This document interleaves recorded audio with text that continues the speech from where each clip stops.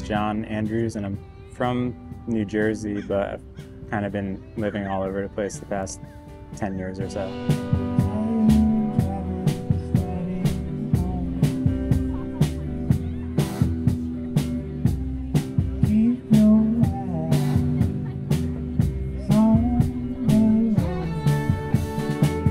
I guess I started playing music when I was a little kid. We had a piano in the living room, so I naturally gravitated towards the piano.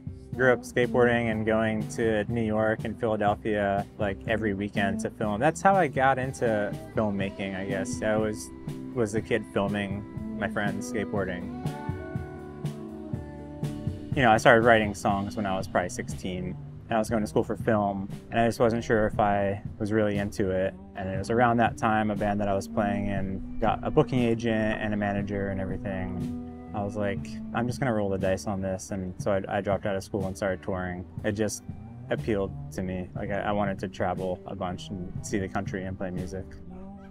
Always kind of making my own music and art. I, I was living in Lancaster, Pennsylvania for a little bit, and that, I had a couple months off from touring, and I started recording in, in my attic. And I sent them to Jeremy from Woods, and he just instantly offered to put out a record, I was really surprised. As soon as I had an outlet to put my music out, I just started uh, going for it a little bit more.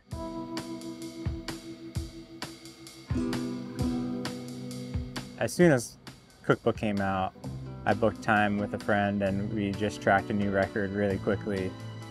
Slightly different vibe.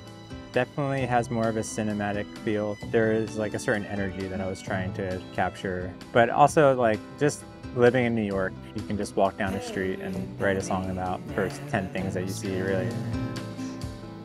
That guy is supposed to be my manager. His name's Yanni. I was just kind of doodling and came up with him.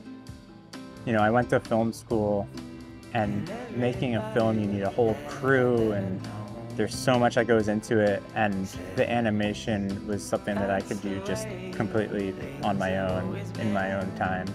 It takes a lot of time and a lot of work, but in the end, it's, it's pretty satisfying when it's all done and you can watch it. But I'm just gonna keep writing songs as much as I can. I had this realization that I'm getting older you know, I'm in my 30s now, still young, I guess, but I need to still like take advantage of it try to make as much stuff as I can and pour as much as I can.